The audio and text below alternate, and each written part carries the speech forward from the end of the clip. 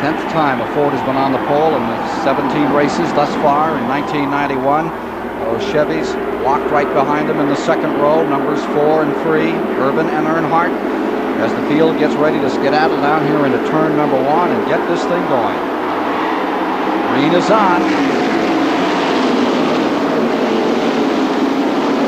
Even on the brake. And staying even up into turn two. Takes a while to get the speed up with those restrictor plates on these engines, Ken. In fact, it takes them a full lap to get up to full speed. Harry Gant was saying this morning that, said, you know, on an even one here, said, running with those restrictor plates just isn't that much fun. If you get out of line even a little, there's nothing you can do. You just have to wait. You have to be very patient.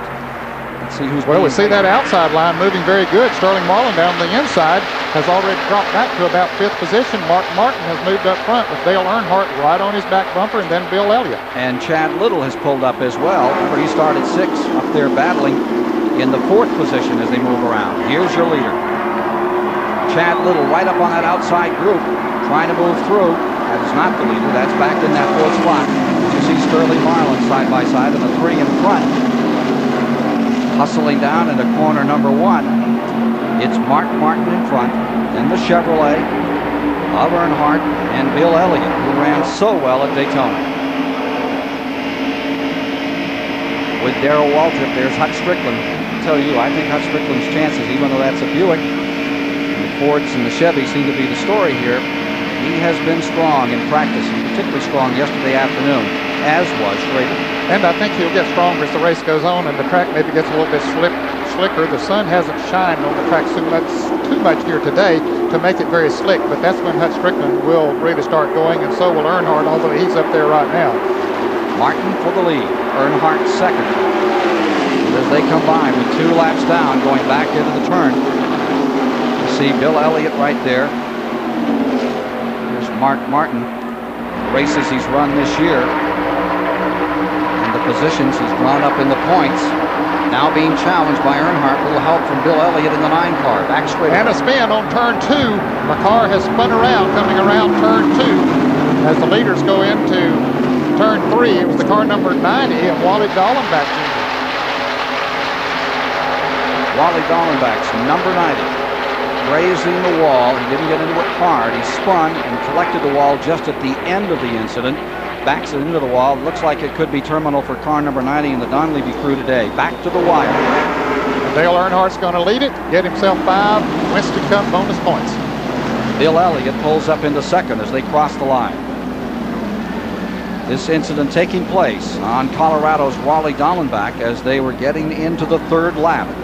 Turn one, it started to break away. Turn two, it went around and it finds the outside wall at the exit of turn two off the 33 degree banking. We will return with more live coverage of the Die Hard 500 from the Talladega Superspeedway after this message and a word from your local station.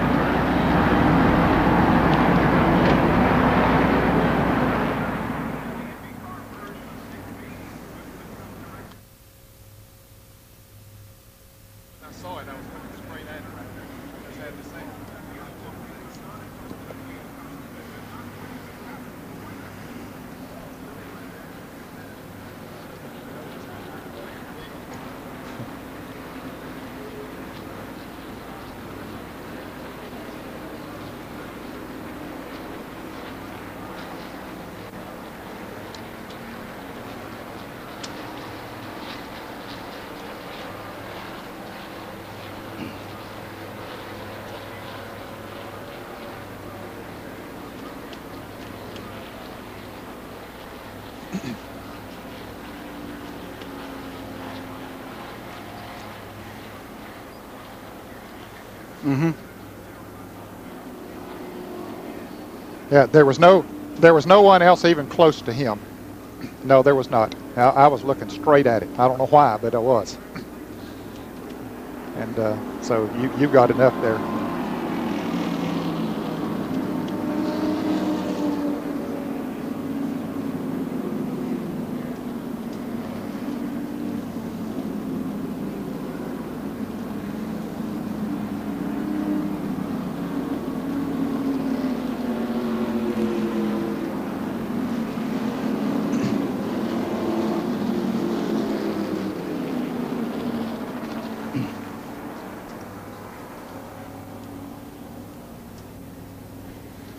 okay?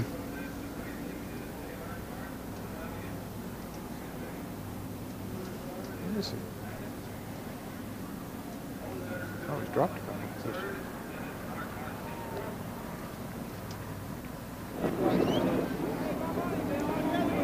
He was in the wrong line, the inside one.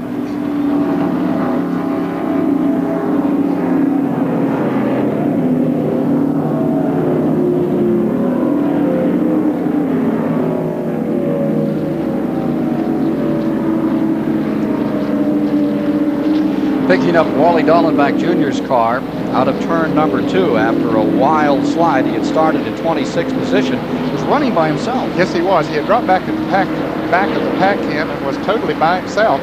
And it, the car got squirrely as he went around turn one and then into turn two. It just looped around and it looked like it was going to be okay.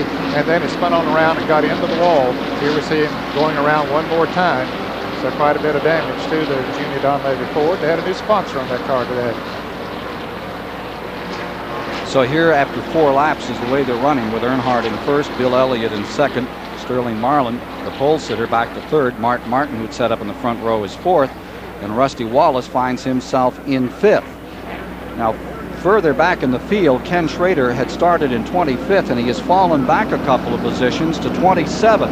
Ken Schrader, uh, this is CBS Control. Do you read us? Yeah, we're not we're not doing too good so far, are we? Did you get caught in the wrong row on that start? Well, I just uh, my shifting skills aren't the best. I, I didn't shift up through the gears real good and uh, made a couple wrong moves, but uh, we're not done. I tell you, sometimes it's hard getting to know which move to make out there, isn't it? Well, it is when you know your your decisions are based on everybody else's, and uh, when they don't know exactly which way they're going yet, it's hard for you to anticipate it. But uh, I was a little surprised. I thought we'd get more than the first couple laps, but uh, we'll be okay. Well, if this makes you feel any better, now Sterling Marlin started on the pole on the inside row, and so did you. And Sterling on the first lap went back to about fifth place on the inside row. So he that had to back you up some. Yeah, that that must have been the problem. Well, of course, Yeah, yeah. it must have been the problem. All right, we'll be back with more live coverage from the Die Hard 500 at the Talladega Superspeedway in Alabama following these messages.